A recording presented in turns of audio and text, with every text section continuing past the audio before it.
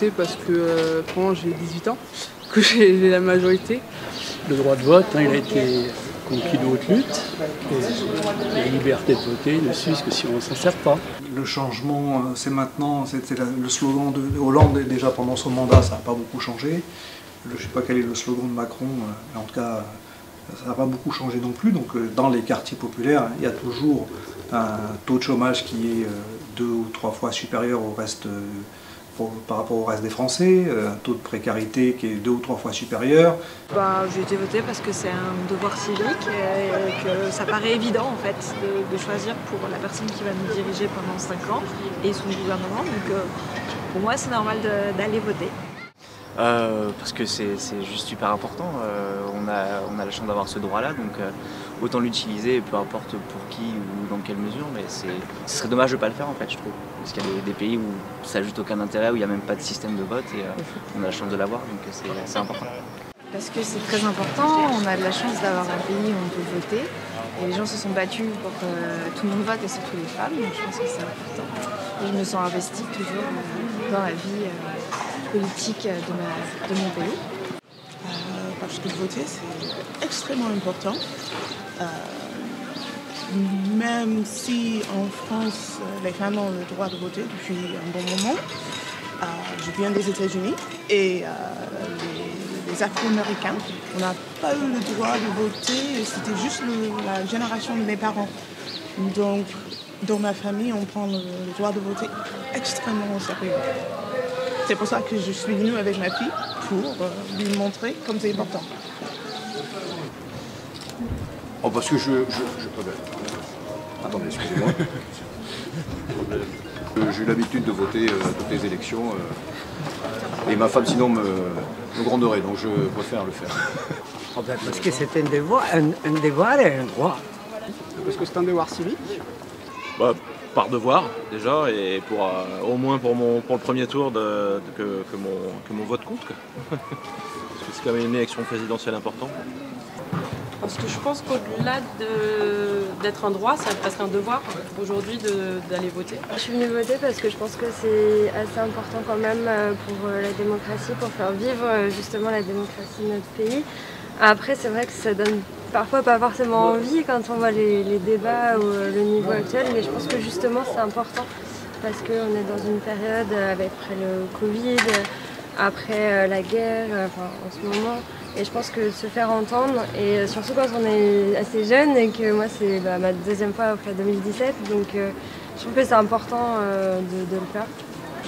Euh, pourquoi je vais voter bah, Parce que j'ai toujours voté depuis que j'ai eu 18 ans, et puis bah, parce que c'est, ça fait partie de mes valeurs de, citoyenne d'aller voter, tout simplement.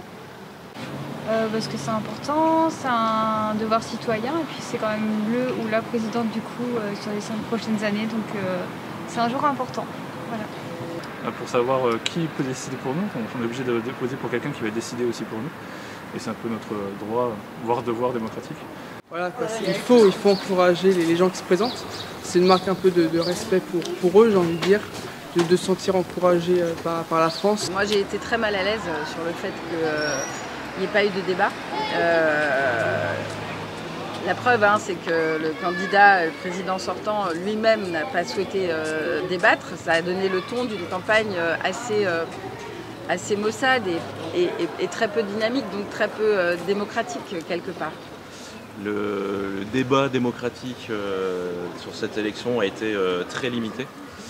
Et même, les gens, quand on, j'ai l'habitude de discuter politique avec des amis, et euh, on a vraiment l'impression que des gens se sont réveillés ces derniers jours en disant mais même là, euh, ces trois dernières semaines, on n'en a jamais parlé. Il, y a, déjà, je pense qu'il n'y en a pas eu de vrai comme on a eu en 2017.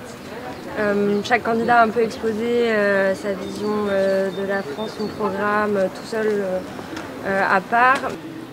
Alors là, on peut quand même reprocher au président sortant de ne pas avoir voulu débattre avec ses, ses, compétiteurs. Ça a quand même, je trouve, un peu privé le débat démocratique. De, ça, c'est quelque chose que qui est, je trouve, négatif. C'est-à-dire que les autres qui devaient participer, donc la droite, on va dire, dite républicaine, euh, Valérie Pécresse et, Macron, donc finalement ne sont pas venus. Donc ce sont uniquement les candidats de gauche, donc socialistes, communistes, France Insoumise et écologistes qui sont venus à notre rencontre.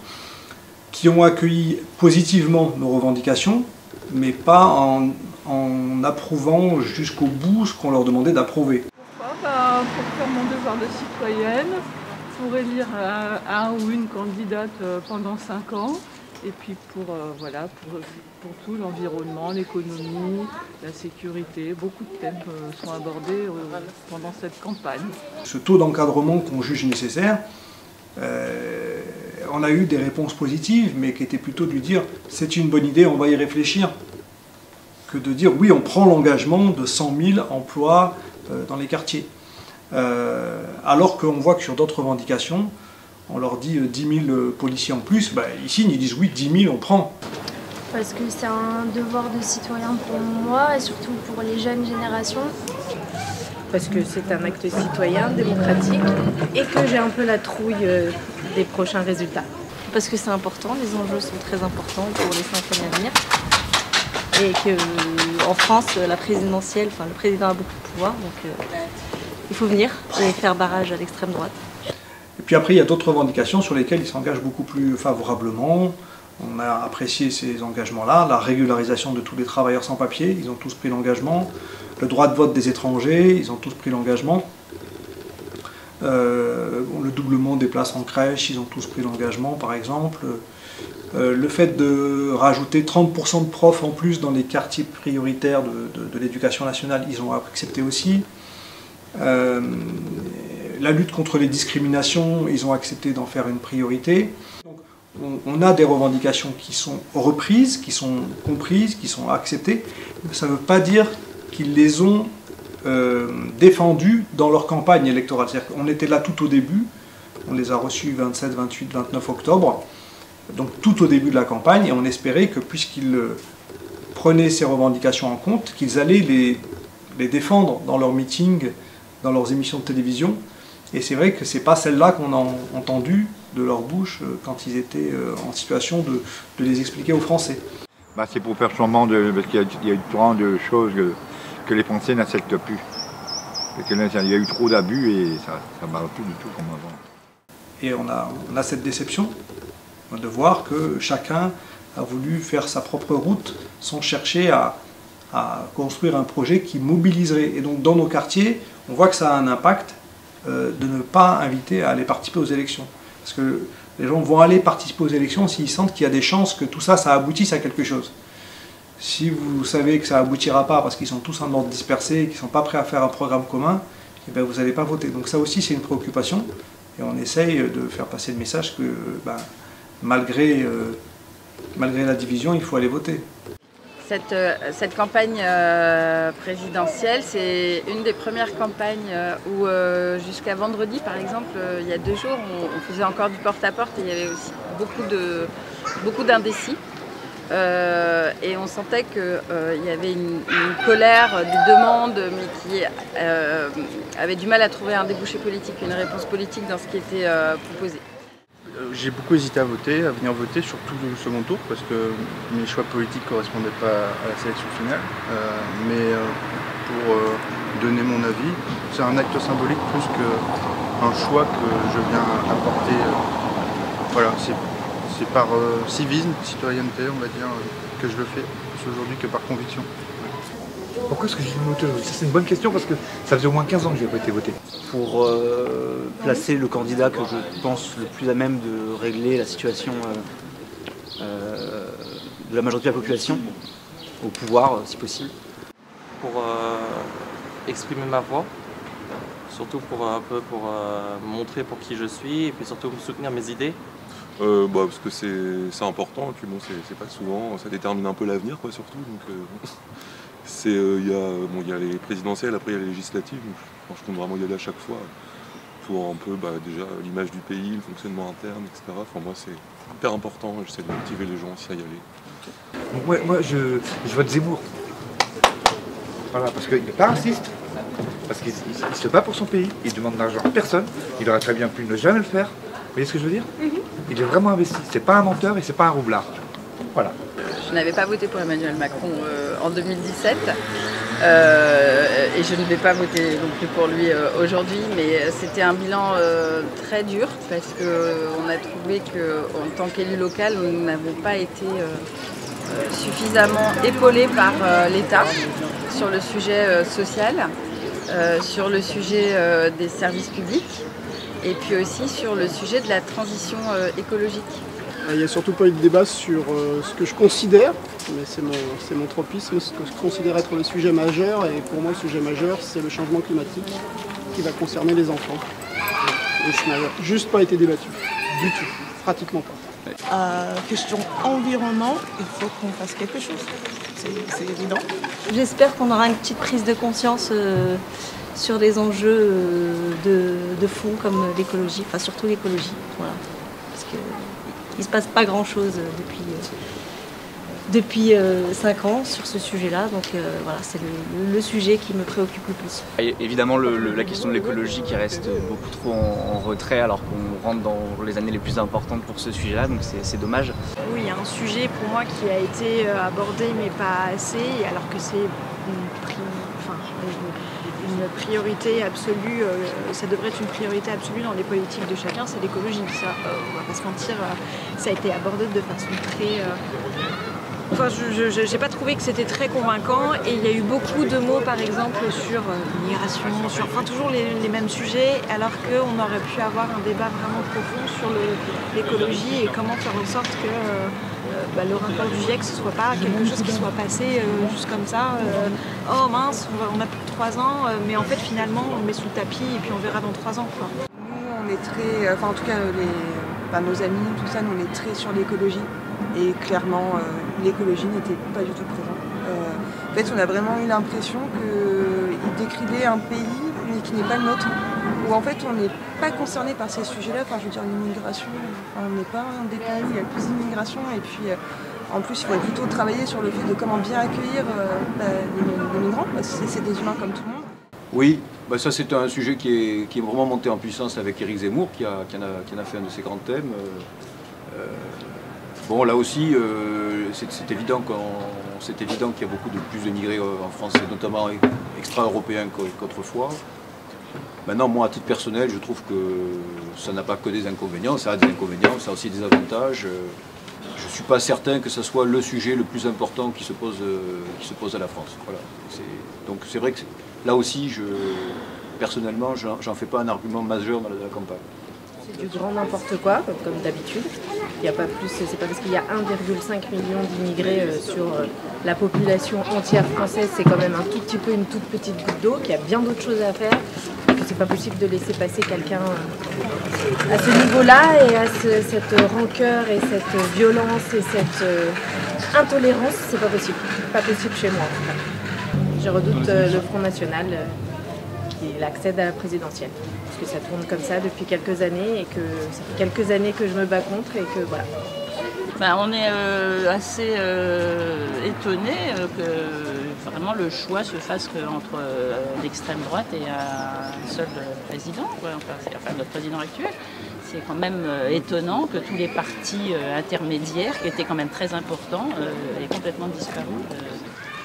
J'aurais tendance à dire, on, on verra ce soir si le, si, cette sensation de tristesse va se, va se répercuter dans le résultat des urnes. Mais euh, oui, forcément, quand, on, vote, quand on glisse son bulletin dans l'urne, on, espère que ça sert à vraiment quelque chose et que ça, va faire évoluer dans le bon sens. Enfin, pas dans le bon sens, il n'y a pas de bon et de mauvais sens, mais dans, le sens qu'on souhaite quand on, quand on glisse son bulletin.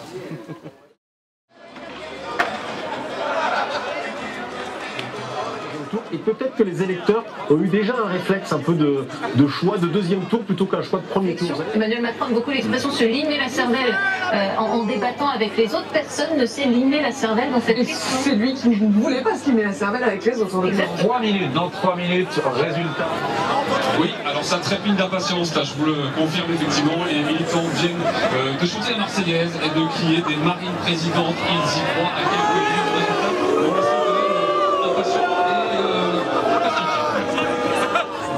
c'est l'heure du dénouement de ce premier acte de l'élection présidentielle. Qui arrivera en tête du scrutin Vous allez voir apparaître votre choix dans ce hall, ici. C'est l'épilogue de cette campagne. Il reste maintenant 10 secondes. Il y avait encore 11 millions d'indécis ces derniers jours. 7 secondes, un président sortant et 11 challengers. Il est 20h, voici le résultat de ce premier tour. En tête ce soir, Emmanuel Macron, 38,1% devant Marine Le Pen avec 23,3%. La même affiche qu'en 2007 apparaît au terme de ce premier tour. Vous voyez les, les deux QG avec l'explosion de joie dans les deux QG. Voici. Oui, la troisième place, Jean-Luc Mélenchon avec un gros score, 20,1%, plus, important encore qu'en 2017. Derrière Éric Zemmour, mais loin derrière, à 7,2%, suit Valérie Pécresse, 5%. Enfin, l'écologiste Yannick Jadot, 4,4%. Jean Lassalle, à 3,3%. Il devance Fabien Roussel, le communiste, 2,7%. Nicolas Dupont-Aignan à 2,3%. Et puis notez à 2,1% la socialiste Anne Hidalgo. Enfin, ce sont les deux candidats d'extrême gauche qui ferment la marche. Nathalie Arthaud à 0,8% et Philippe Poutou à 0,7%. Face à cette lame de fond de ces derniers jours, je voudrais sincèrement, le plus profondément de mon cœur, saluer les centaines de milliers d'électeurs et d'électrices qui ont fait le choix de voter pour ma candidature et saluer, saluer les dizaines de milliers de militantes et de militants engagés, communistes, Je les appelle à faire barrage à l'extrême droite en déposant dans l'urne un bulletin Emmanuel Macron. Que personne, personne ne minimise la menace fondamentale que constitue l'extrême droite pour la démocratie, la paix civile, l'écologie et pour les valeurs de notre République. Mes chers compatriotes, Français de métropole, Français d'outre-mer et Français du monde, le peuple français s'est exprimé et me fait l'honneur d'être qualifié au second tour face au président sortant. Permis d'exprimer aux millions d'électeurs qui m'ont témoigné leur confiance ma plus sincère gratitude. J'en mesure avec humilité toute la responsabilité. J'y vois l'espoir. Espoir que se lèvent les forces de redressement du pays. Lors de ce premier tour, les Français ont manifestement tenu à arbitrer par le pays un choix fondamental entre deux visions opposées de l'avenir. Soit la division, la justice et le désordre, imposés par Emmanuel Macron au profit de quelques-uns, soit le rassemblement des Français autour de la justice sociale et de la protection garantie par un cadre fraternel autour de l'idée millénaire de nation et de peuple. l'état dans lequel se trouve la patrie et son peuple sur tous les points du territoire. Un état d'exaspération et le sentiment d'être entré dans un état d'urgence écologique, sociale et maintenant, encore une fois, nous le voyons ce soir, un état d'urgence politique. Dans la bataille qui arrive, nous avons constitué le pôle populaire. Parce qu'il était là, toutes sortes de gens ont pu prendre appui dessus pour faire un vote et nous amener jusqu'à ce point. Les batailles arrivent devant vous. Ne commettons pas l'erreur de nous fourvoyer à peine entrés sur le chemin. Nous savons pour qui nous ne voterons jamais.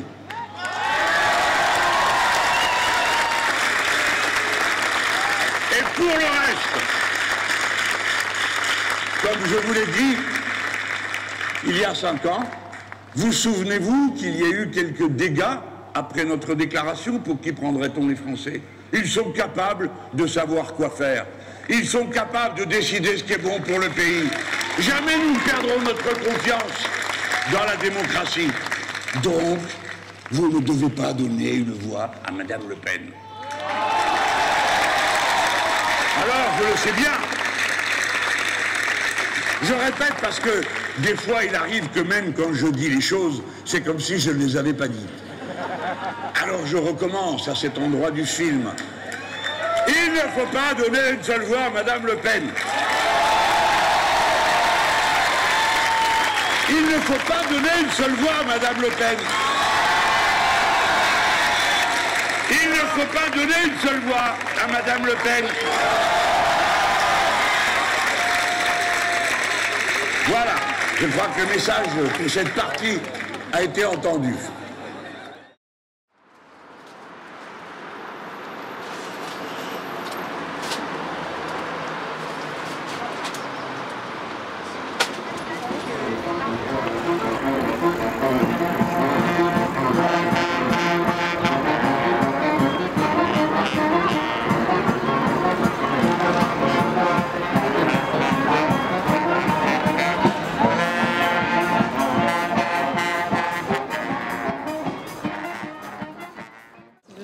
Je suis Hope Bordet, artiste peintre, vidéaste, euh, graveuse et performeuse, euh, bon, et en même temps euh, réalisatrice, membre euh, dans un collectif euh, tunisien euh, féministe qui s'appelle Chamel et membre dans un collectif euh, international qui s'appelle euh, Terre al Salad qui se situe actuellement euh, à Paris mais euh, qui travaille entre euh, le, nord euh, de l'Afrique et le sud de euh, l'Europe.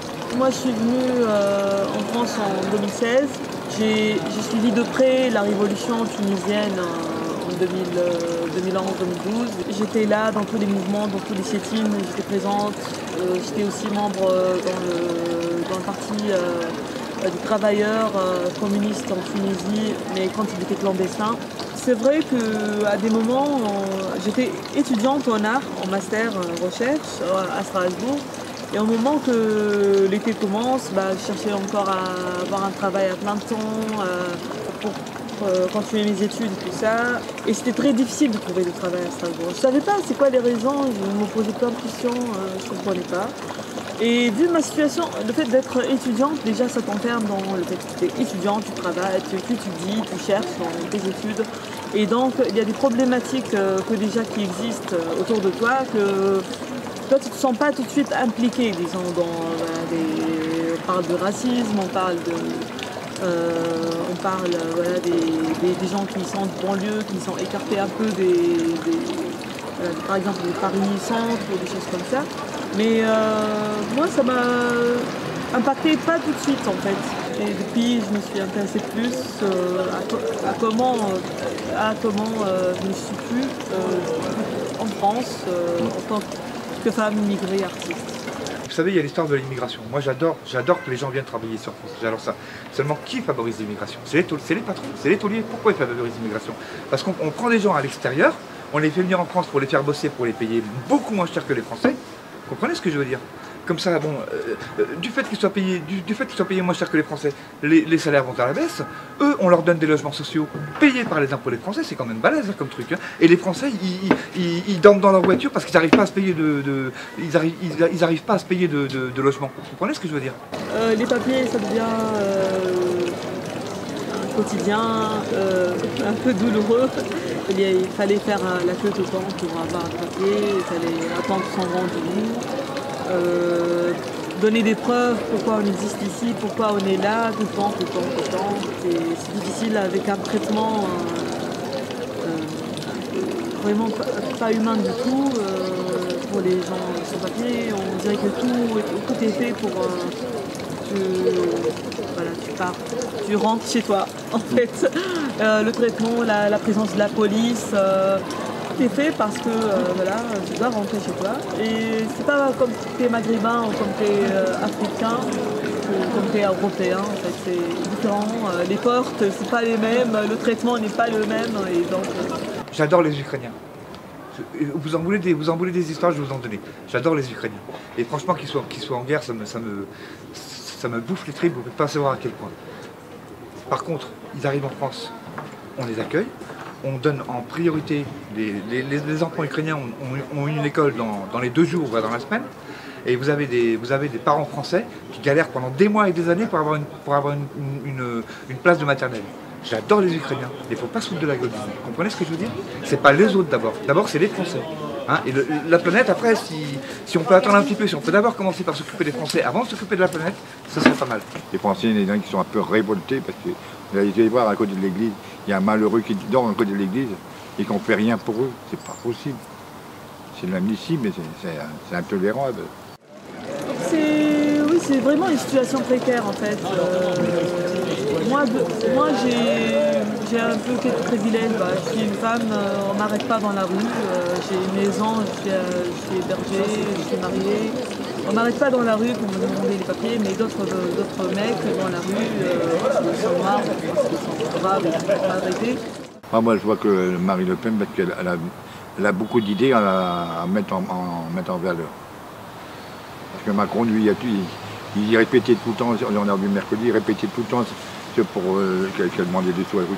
Sais pas. Et lui, il ne demande pas des sous à l'Algérie. Et ça ne dit pas en français, ça. Parce qu'en ce moment, c'est tous les immigrés qui font des enfants, mais les femmes françaises ne font même pas d'enfants. Qu'elle que- qu'elle voudrait, Marie Le Pen, que toutes les femmes passent. On va peupler la France. Déjà, en, en tant qu'immigré, il faut s'intéresser. Et, et déjà, en tant qu'être humain, il faut s'intéresser à la politique. C'est que la politique, euh, à certains moments, soit en Tunisie, soit en Europe, on fait sentir tout le temps que oui, il y a des personnes qui, qui doivent, euh, qui doivent monopoliser euh, la politique, qui s'occupent de politique, comme si c'est quelque chose qu'on doit donner aux autres, en fait, et c'est pas à nous de réfléchir sur la politique. Je suis allée voir c-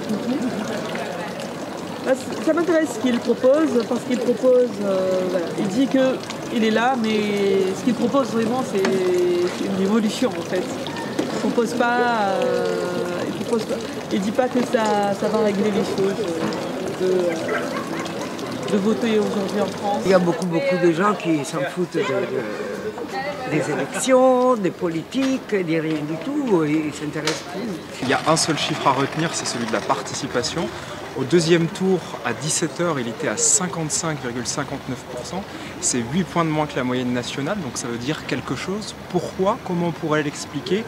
Déjà, la première chose, c'est euh, le vote Jean-Luc Mélenchon, ici au premier tour, qui est arrivé à plus de 40%, parce que la ville de Lille, c'est un bastion socialiste qui est devenu un bastion de la France insoumise, donc du parti de Jean-Luc Mélenchon. Le, taux de participation est, faible aujourd'hui à Lille, et, en tout cas, il suit la moyenne nationale euh, qui, euh, qui aussi tend, à, baisser aujourd'hui pour le deuxième tour. Moi, je peux dire, hein, je, je vote blanc en fait, vous voyez, parce que ça me plaît pas. Mais euh, je trouve que c'est important de faire la démarche de se déplacer pour au moins, parce que même si c'est pas pris en compte, c'est quand même comptabilisé au final. Donc c'est quand même euh, important, je pense. Voilà. Parce que puis quelque part dans l'histoire, ça restera, on saura qu'il y a eu autant d'abstention. Parce que rester, chez soi sans rien faire, c'est pas la même chose que se déplacer pour, euh, pour voter pour aucun des, candidats, parce qu'il n'y en a aucun qui me plaît, quoi, en fait. C'est un droit aussi de voter blanc? Après, malheureusement, c'est pas reconnu dans la 5 République. Euh, Il reste juste de ce qu'ils font après. quoi.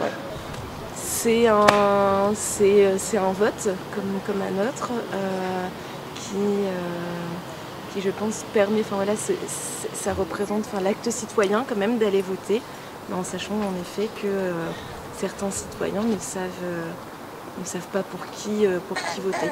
Hum, Je comprends la démarche de vouloir voter blanc. Euh, le seul problème, c'est que comme dans les faits, c'est pas reconnu, je vois pas forcément l'efficacité que ça peut avoir, ce qui est dommage parce que ça pourrait avoir un sens de, dire bah, je suis pas d'accord avec ni l'un ni l'autre, euh, ni, enfin, ni les deux propositions. Une chose est sûre, c'est que les jeunes se sont moins mobilisés pour ce second tour. On voit beaucoup moins de jeunes euh, dans les bureaux de vote. Euh, et les gens sont encore indécis avant de rentrer dans l'isoloir. On a croisé beaucoup de personnes euh, qu'on a interrogées lors de nos directs toute la journée. Ils, nous ont dit très clairement, euh, le choix s'est fait dans l'isoloir. On ne savait pas qui choisir. Euh, Une personne m'a dit, voilà, on, on a le choix entre la peste et le choléra et il faut choisir le moins pire. Bah, c'est compliqué parce que euh, en même temps on a le choix qu'entre deux candidats. Donc c'est euh, un peu compliqué de se dire euh, si l'un ou l'autre ne nous plaît pas, bah, on ça nous paraît obligé de choisir entre deux personnes qui ne nous plaisent pas forcément. Cependant, si on fait un vote blanc et si le vote blanc est, est- comptabilisé, ça me paraît aussi compliqué parce qu'il y aura, on le sait tous, majoritairement des votes blancs puisqu'il y a tellement de candidats au premier tour que, tout- ça ne se retrouve pas après derrière dans le second tour. Donc, euh, comment comptabiliser? Je pense que la vraie problématique, elle est là de savoir comment comptabiliser ce vote blanc, comment le faire fonctionner au sein de, notre euh, système électoral. Pour l'instant, euh, je vois pas comment. Mais euh, en, tout cas, en tout cas, moi, je vote pas blanc parce que c'est un vote perdu, on va dire. Mais ça devrait pas être perdu. Les gens qui n'ont pas le, se retrouve pas dans les, propositions derrière des deux candidats qui sont au second tour, au second tour pardon, ne devrait pas. euh, leur voix devrait quand même compter. Je pense qu'il y a un truc à travailler là-dessus.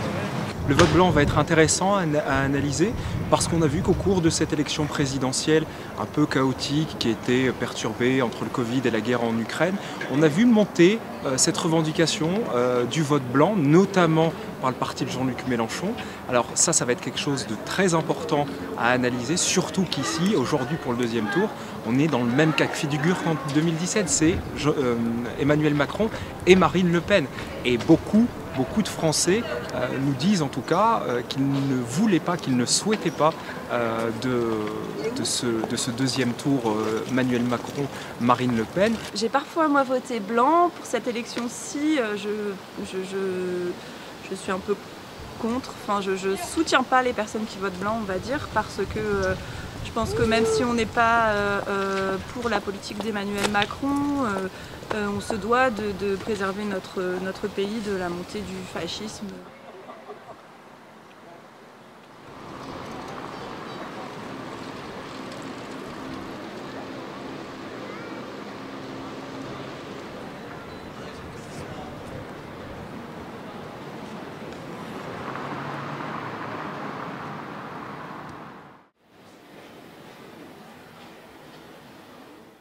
Le système français très particulier. On a des personnels politiques qui sont en place depuis 30, 40, voire 50 ans.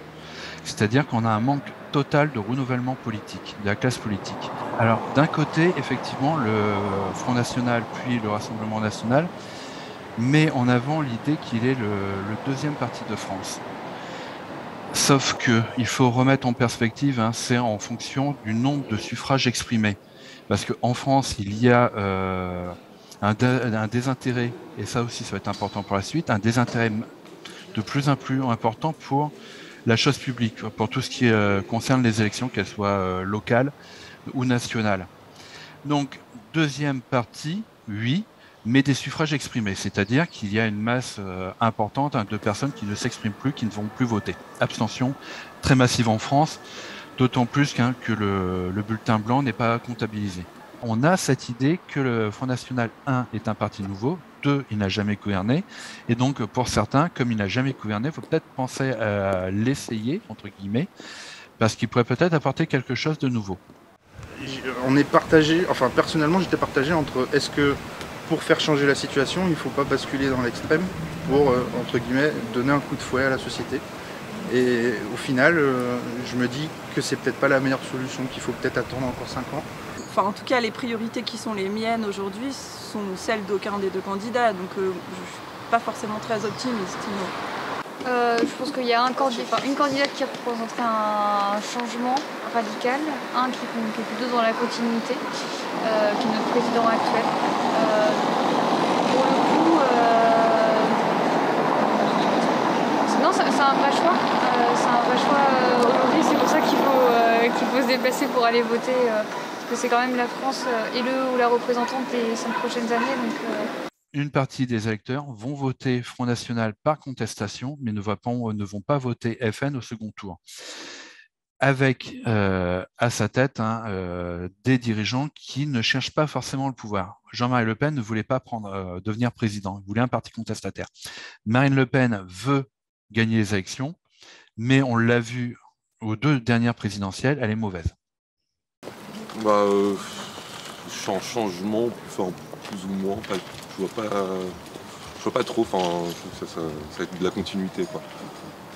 Enfin, si, l'autre, enfin, candidate en, un changement, mais pour moi, qui serait extrêmement négatif, donc euh, je suis pas du tout anti, quoi. Le changement, euh, du coup, euh, si on prend le président actuel, il ne sera pas au rendez-vous. Et, de l'autre côté, effectivement, ça fera un grand changement. Pas mes opinions à moi, mais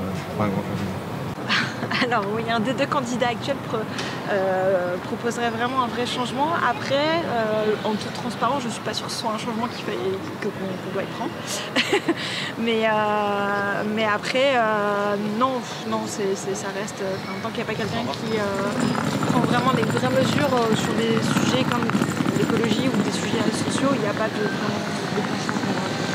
ça va être la même. Soit on revient avec les 5 ans qui viennent de s'écouler, bon, était en, en, soi un petit changement, mais bon, peut-être pas forcément non plus un bon changement. Soit on part dans des extrêmes et c'est jamais très bon. Euh, on a vécu des extrêmes en Europe, je pense que ça sert à rien de revenir, de revenir à ça vraiment. En tout cas, moi, je ne le souhaite pas. Il y a une partie de l'extrême droite parmi la plus radicale, la plus identitaire, qui a euh, des attraits forts pour l'écologie. Euh, une fois qu'on a dit ça, toute l'extrême droite n'a pas pour autant euh, des, préoccupations de type écologique. Il suffit de regarder euh, les programmes de Marine Le Pen et d'Éric Zemmour pour voir que l'écologie chez les deux candidats se résume à une préservation du paysage et un nationalisme qui se cache derrière l'idée de localisme. Il n'y a aucune réflexion chez les deux pour un changement de modèle économique, industriel ou sociétal. C'est-à-dire euh, qu'on trouve chez les écologistes, hein, c'est-à-dire tourner euh, le dos au productivisme pour euh, développer une autre forme de civilisation. Il n'y a pas. Au contraire, les deux sont productivistes. On va dire la principale stratégie du Front National puis du Rassemblement National à partir des années 80, donc le parti a mis 10 ans quand même à émerger, c'est la mise en avant d'un populisme d'une part. Donc, euh, on va parler au peuple, hein, la majorité silencieuse, euh, le peuple silencieux. Je suis le représentant du, vrai peuple. Hein, on connaît ça euh, chez Jean-Marie Le Pen et après avec Marine Le Pen, avec quand même des paradoxes. Hein. Marine Le Pen est une fille d'eux, c'est une héritière, c'est la fille de Jean-Marie Le Pen.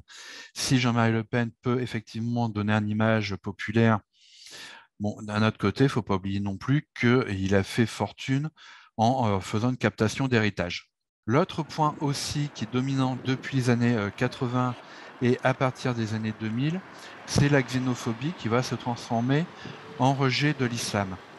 Avec euh, un autre discours qui est tout à fait intéressant qu'on retrouve en lien avec le populisme, c'est que euh, les Arabes ne vont plus être critiqués parce qu'ils sont arabes, mais on va stigmatiser l'islam avec euh, l'arrivée dans les années 2010 d'un autre thème qui va faire un carnage au niveau de, l'électorat, c'est le grand remplacement qui est mis en avant par les groupes identitaires. on l'a vu aux dernières présidentielles, hein, vous avez quand même un candidat qui a surfé sur ses discours racistes, qui était entouré par des militants ouvertement antisémites, euh, racistes, identitaires, voire néo-nazis, c'est Eric Zemmour. Et euh, Zemmour va faire quand même plus de 7%.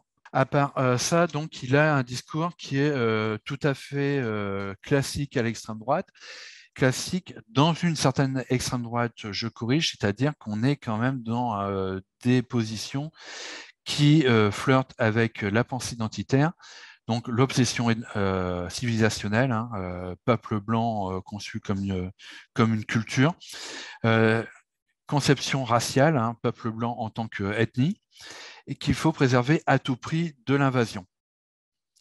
Et euh, là, on a quelque chose de ce point de vue-là qui est, vraiment, à mon avis, très intéressant parce que euh, c'est tout à fait nouveau et c'est effrayant parce qu'on a des positions ultra radicales qui font quand même 7 à 8% Est-ce que euh, Zemmour va supplanter Marine Le Pen? Je ne pense pas. Pourquoi? Parce que euh, le discours euh, d'Éric Zemmour étant euh, tellement radical que Marine Le Pen passe pour une modérée. Ça, c'est le premier point qui est intéressant. Et la mise en boucle du discours de Zemmour, c'est-à-dire l'obsession raciale, identitaire et islamophobe, j'aime pas le terme, mais le, le, rejet massif de l'immigration et notamment de l'immigration musulmane, arrive à ses limites. C'est-à-dire que euh, les 7%, euh, je pense que c'est le maximum, c'est le plein d'Éric Zemmour. Bah, nous, on a pris la décision de partir. Euh, donc nous, on va bah, s'expatrier au Québec. on va pouvoir un peu suivre comment ça se passe et tout ça. Je pense qu'il y a encore législatif pour faire un contre-pouvoir, dans tous les cas, si on n'est pas content du candidat qu'il y a ou alors au contraire de le conforter.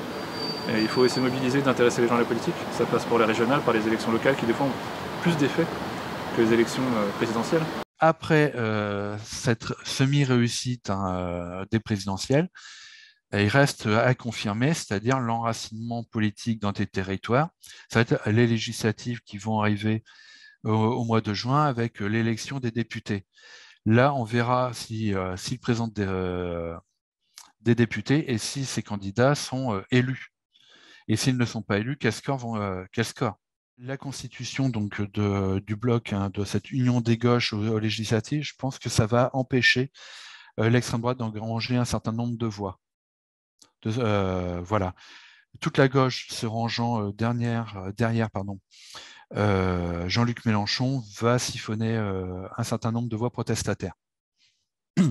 protestataires dans le sens où certaines personnes étaient prêtes à voter pour l'extrême droite par opposition à Macron. Comme là, toutes les gauches vont, vont être unies, certains souverainistes ou certains parmi les plus protestataires n'auront pas cette tentation-là. On voit déjà, sur le terrain en tout cas, que les partisans de Jean-Luc Mélenchon, qui a fait son meilleur score lors du, premier tour, sont déjà à fond pour les législatives, qui sont au mois de juin, la campagne commence fin mai, et la fiche de campagne est déjà prête de Jean-Luc Mélenchon, c'est pour, pour le Premier ministre à Matignon. Donc lui, voilà, c'est son credo, il sait qu'il a attiré les jeunes, donc là on est déjà à la législative.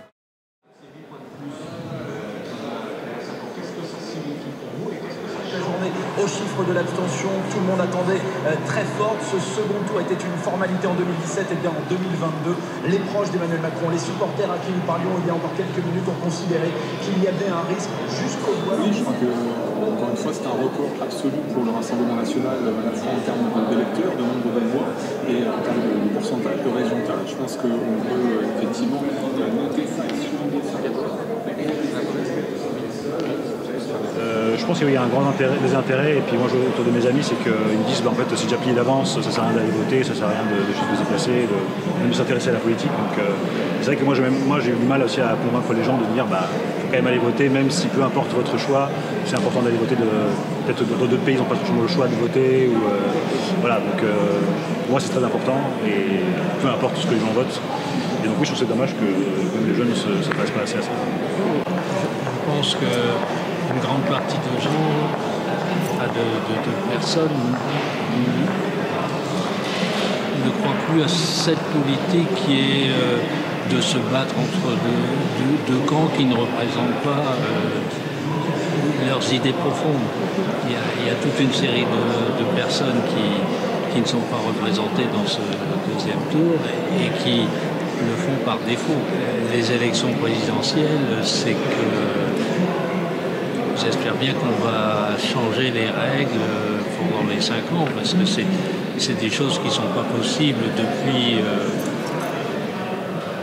ça a été créé dans les années 97-98, l'inversion du calendrier. Euh, ce sont des choses qui, qui font voir actuellement qu'on est dans la limite. Euh,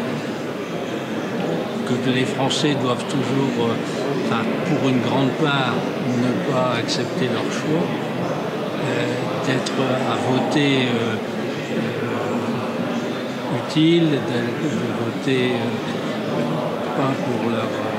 c'est pas possible que ça continue. En dépit de deux semaines de méthodes déloyales, brutales et violentes, similaires à celles que subissent au quotidien les Français, les idées que nous représentons arrive à des sommets un soir de second tour d'élection présidentielle. Avec plus de 43% des voix, le résultat de ce soir représente en lui-même une éclatante victoire.